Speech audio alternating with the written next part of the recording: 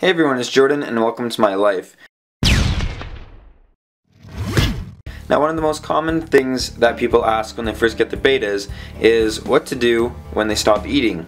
And there are two reasons mainly why bettas stop eating.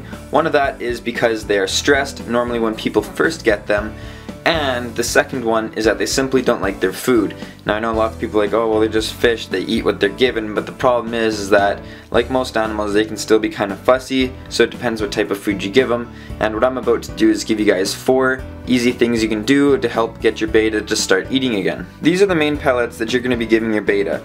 They're Omega One uh, any other pellets would work that say betta on them and that's because that's the formula that typically bettas enjoy and it is in a nice small little pellet form. Just like that. That's what it looks like.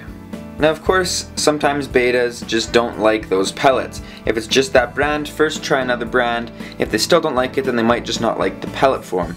So there's still two types of food that you can give them that is totally okay. The first one is bloodworms, and the second is just simple, normal fish flakes. Pretty much every single betta is going to love bloodworms. They make their colors super nice and bright as well, but they are a little bit more fattening, so if you can, I would try to only use these as a treat, so try using the flakes instead. And the flakes are the other one that you can try. Um, pretty much all bettas can eat tropical fish flakes, just like any other fish can. Uh, just make sure that it is just like the tropical flakes because they also have goldfish flakes, sometimes cichlid flakes, all that. You don't want to do that because those are different formulas. And personally what I do is I mix in the bloodworms with the tropical fish flakes and then I just use this and I kind of just mix it around, grab a couple different ones, throw it in, and then that way he always gets a little bit of variety. The other reason, like I mentioned earlier, that your betta might not be eating is simply because they're stressed. Normally this can happen when you first bring your betta home or after you do water changes and stuff just because that's a different environment and a different experience and sometimes they get a little bit nervous so they stop eating. The two main ways to fix this is aquarium salt and a heater. Now you can't really see the heater but it's that red dot in there and the heater works very very well because it keeps the water a little bit warmer and generally keeps it at a constant temperature.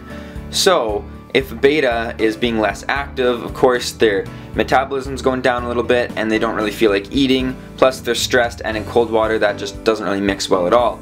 So you put a heater in there which will warm up the water a little bit and it'll keep it at a nice temperature so they're not going to get stressed out about different temperature changes and typically then they'll start eating within a day or two because the water's warmer and they're a lot happier.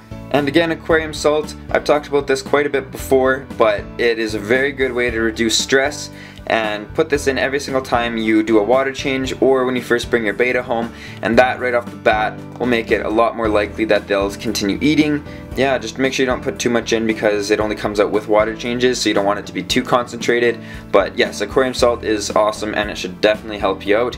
Only put a little pinch in for about a size this big, which is about 3 gallons. That is about all. I hope this helped out. If you have any further questions or concerns, just leave them in the comment section below and I'd be happy to talk about it. Uh, LeBron is really happy. I pretty much do all these steps for him and he has been eating consistently ever since I got him and he's grown quite large. So it definitely does work. Anyways, hope you guys have a great day. Talk to you in the next video. Bye.